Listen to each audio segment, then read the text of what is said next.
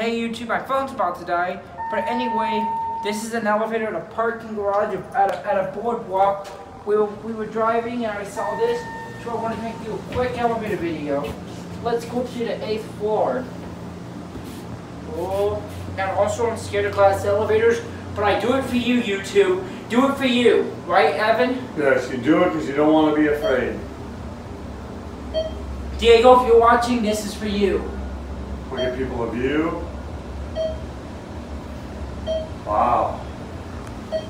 So they can see the panel. ThyssenKrupp. That's it. All right.